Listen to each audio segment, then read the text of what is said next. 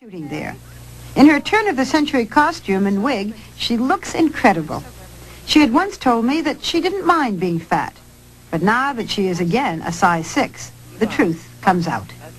I didn't enjoy being fat. Really? No, I hated it. And I hated all the fat jokes. I probably laughed as loud or louder than anyone. But they hurt. Mm. They hurt me a lot. And there was a kind of defiance I think made me get even fatter. Like it's, it's my business. It's my body. I went through some photos the other day. And they're just, they're incredible. I let my hair go. I didn't bother with makeup. I obviously just didn't care. I was quite clearly unhappy. And I think a lot of it was uh, uh, rebellion setting in. I've worked since I was nine. And sort of been told to do this and that. And I reached a point in my life where I thought, no, damn it.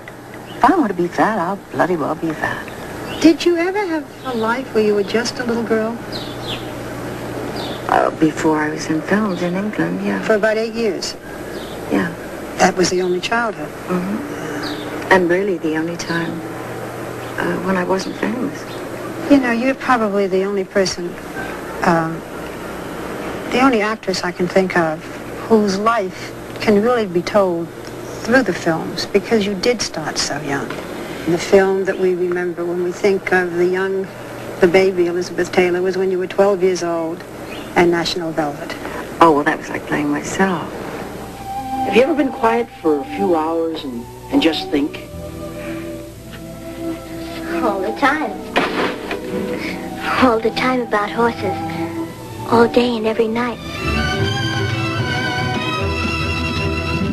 I chose the horse for that. Uh, nobody else could ride it in real life other than me. So the film was just really, I suppose that's why it's one of my favorites. When you did a film called Cynthia, you got your first kiss in Cynthia. Do you remember? Oh, I do remember. And I think in real life I got my own first kiss about two weeks before. I was in, I do remember I was in a panic that I'd be kissed on the screen before I was in real life. And that would have been such a terrible humiliation. Who was the first kiss in real life? in real life? uh, a friend of my brother's. It was a, probably a compassionate kiss. 17 to 18, you were playing a bride. Spencer Tracy was the father. The film was Father of the Bride. And you were thinking of getting married yourself at just that point, were you not? Yes, I did marry when I was 18. You were so young when you married Nicky Hilton. Why did you want to get married? Well, I thought I was in love. Uh, I thought marriage was, oh, a cottage with a white picket fence and roses climbing over it. I was unprepared for that world out there. I'd been so sheltered and protected by my family, the studio. Uh, I was no more grown up than a little animal. You are such a good actress because the sun is going down here in location and I am freezing and you don't look It as if it bothers you. Would you like something to I'd put love on? something, yes. Could, do we have a wrap that Miss Taylor could? Oh, thank Good. you. Emma. Thanks. Oh, that's better. While we're going over the years, a memorable film, a very special one, I, I would think for you, A Place in the Sun. Oh, yeah. I guess that's probably uh, the most memorable because it, it's, I think the first time I even considered acting, everything before had been an extension of myself. It's the first time that I think I acted in a film. Do you remember the hardest scene for you in that? Ah, the hardest. I suppose uh, saying goodbye to Monty and to keep from crying. Goodbye, George. Seems like we always spend the best part of our time just saying goodbye. What was Montgomery Clift in, in your life? What, what, what kind of a friendship was it? Well, he was one of the most important people in my life. He was my closest friend until he died. Uh, we really loved each other in the purest, most complete sense of the word.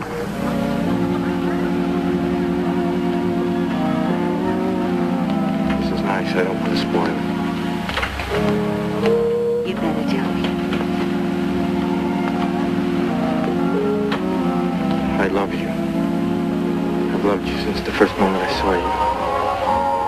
After A Place in the Sun, another film that was, it was a giant film. It was called Giant. I would think would have been a happy time for you because it was the beginning of a wonderful romance. Was Raintree County. Montgomery Clift was your co-star. And was it at that time that you met Mike Todd? Yeah. We were wildly attracted to each other.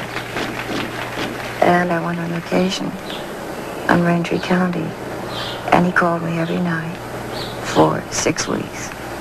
And we got to know each other on the phone. Elizabeth, when he was killed in that plane crash, you were supposed to have been on the plane that went down. Mm. And you were ill and didn't take that plane. I had a temperature of 102 and I had pneumonia. And it was strange. He said goodbye to me five times. And we clung to each other. And it was the first time we'd ever been separated our 13 years of marriage. 13 months. 13 months. Isn't it funny that you say 13 years? Yeah. Wouldn't it have been wonderful if it could have been 13? I sure would. And that was not easy to believe. Fate has played such a part in your life.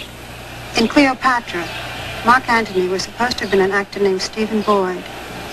He had other commitments, and another actor named Richard Burton was brought in. I want to be free of you. Of wanting you. Being afraid. That Caesar would not permit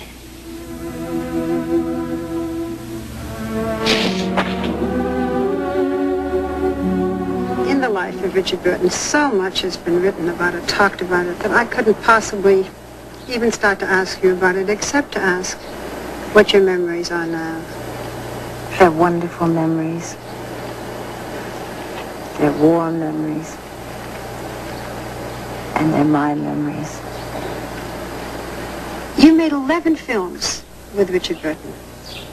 One of them, Who's Afraid of Virginia Woolf, many people feel was your greatest challenge and perhaps your greatest performance. Do you feel that? It's my favorite film. In uh, Who's Afraid of Virginia Woolf, you did an imitation of Bette Davis. Do you Yeah. remember? Yeah. Can you do it for us? Or do you remember the line? Uh, I remember the line, yeah. What a dump. Hey, what's that from? What a dump. How would I know? Oh, come on. What's it from? You know. Martha, What's it from, for Christ's sake? what's what from? I just told you. I just did it. What a dump. Bette Davis. You know what she says? She says that more people think she says it that way because of your imitation than the way she said it in real life. Elizabeth, I cannot sit here without asking you what I'm sure everybody wants to know, and you probably know is going to come up. Do you think of marrying again? Do you want to marry again? I don't know. I've thought about it, but I've been single now for five years, which is a record. And I like it. Do you? Yeah, I'm really enjoying it. Uh, I, I really don't know. Two years ago, I would have said, yes, I think I will, once more. Uh, you know, I'm a real diehard. But I'm not sure anymore. Why not? What made the difference? Well, I haven't been terribly successful. Uh, I am different now than I was before. Can we assume that you and George Hamilton are just very good friends, as you say you are? Well, just very good friends sounds like such a cliche. Yeah. We enjoy each other. We have fun together. We're extremely fond of each other.